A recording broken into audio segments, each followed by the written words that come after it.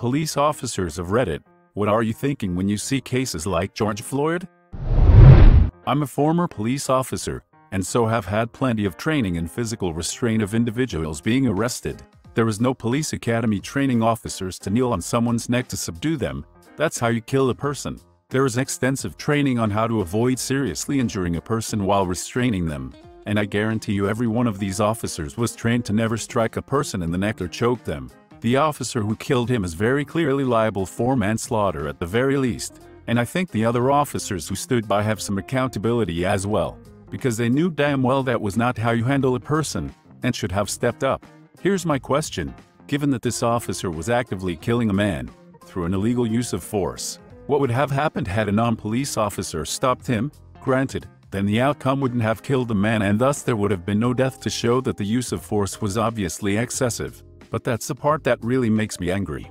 Anyone who would have tried to stop this would have been arrested on the spot for assaulting an officer, even though the officer was literally murdering another human being. Lawyer here. While the literal text of most justification, necessity defenses would apply to using force in that situation, most likely the Good Samaritan would be charged with obstruction or interference with public duties.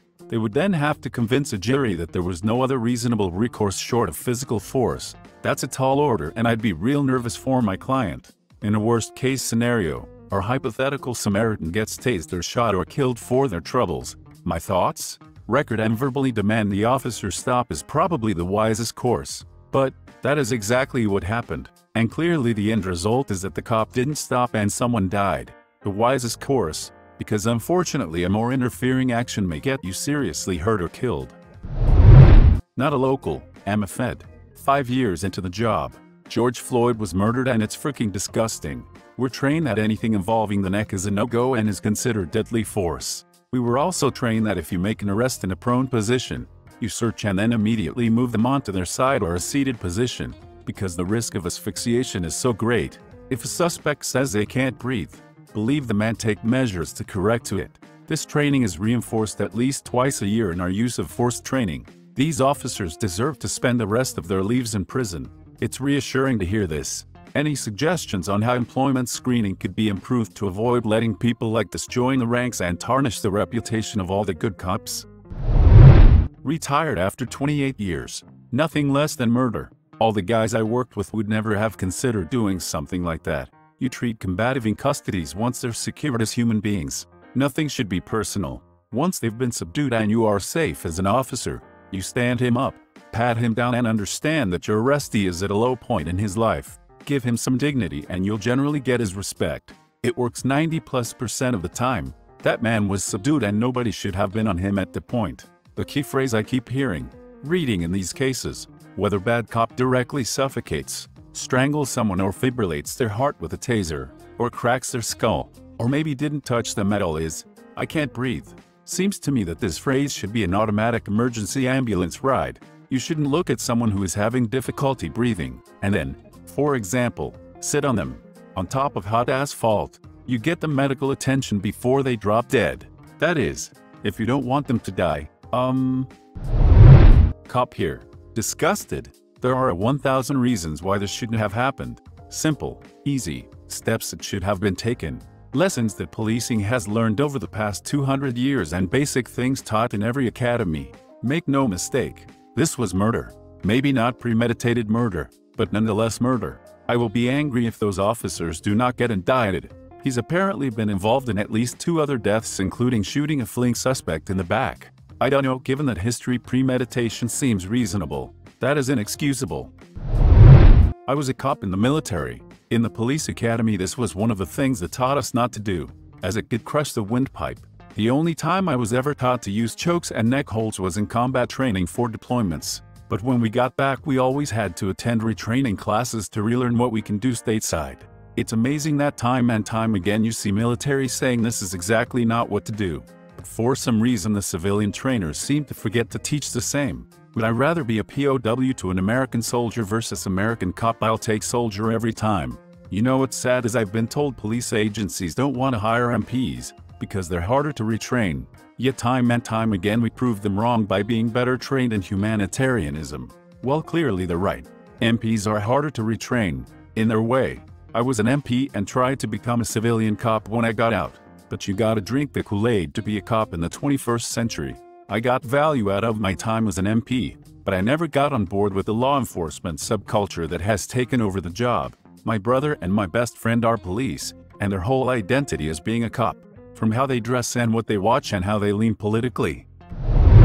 Retired, it disgusts me as the job is difficult enough, as it is, working mostly in sensitive neighborhoods. Brutality like this makes it far more difficult. How difficult was it for you to build community trust? Did you have to continuously fight against atrocities such as the recent cases, or was your community more sheltered from those issues? I worked in a place where the population was about 75% black. As a white cop, I very quickly learned a lot about being respectful and how to be tactful. Humor goes a long way and it's very important not to give off any sign of being fearful. They can sense it. You get used to shouts of abuse as you drive by and guys on the corner will try to provoke you by openly drinking beer. Is it illegal?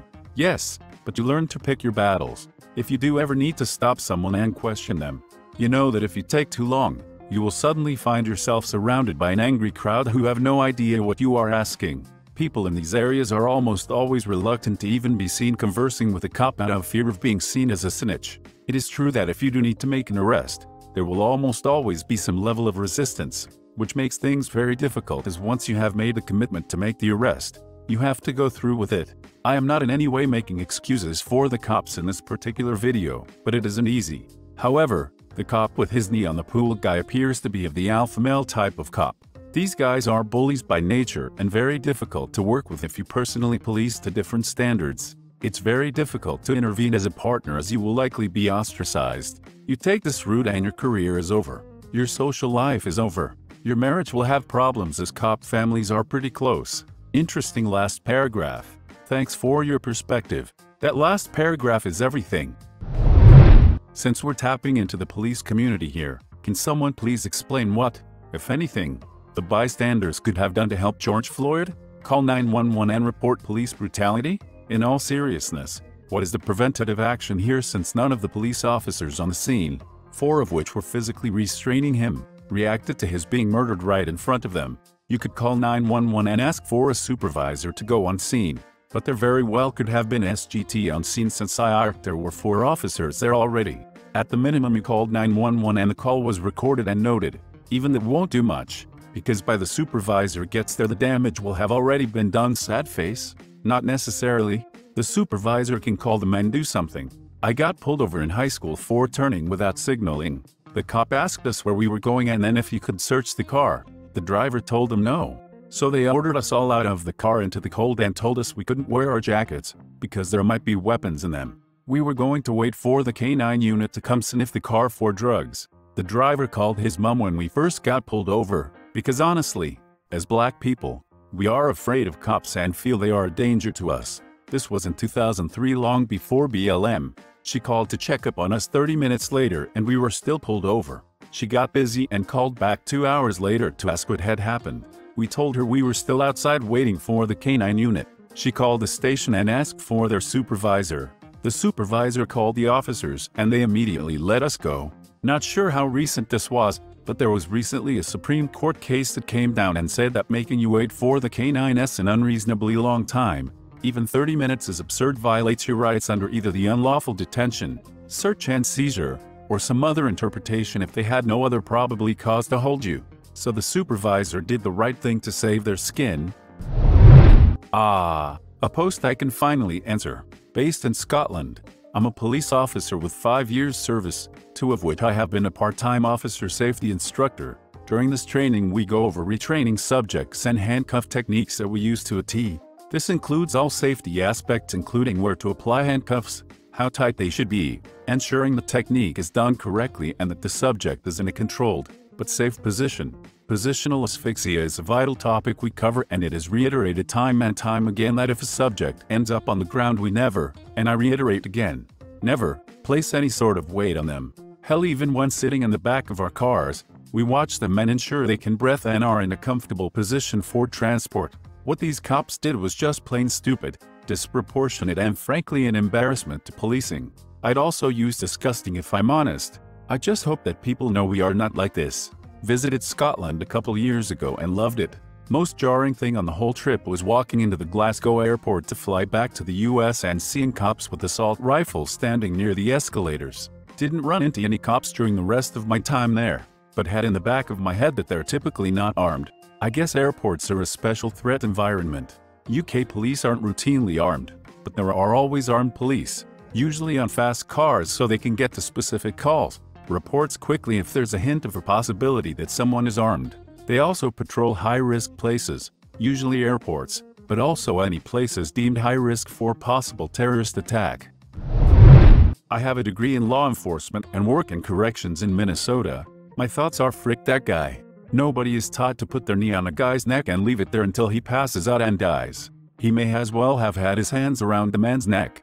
If I were to go off the video evidence, the officer should be arrested for murder. That's the crazy thing about this case. It couldn't be more blatant. The footage was clear, long-lasting and heart-wrenching. If there isn't hell to pay with this clear of evidence then protests are absolutely justified. The Rodney King case had the same type of evidence and look where that went.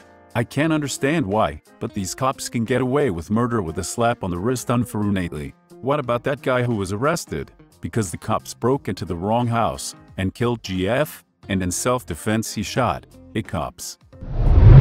I put a serious tag if I were you. I don't know, I don't think it's sort of thing people joke about. That said, I reckon there'll be a lot of not a police officer but, um, comments. Not a police officer but, I agree. Thanks for watching. If you enjoyed the video please smash the like button and leave a comment which story you liked the most. Subscribe and hit the bell notification for updates on our latest videos. And don't forget to check the links in the description box for more awesome content.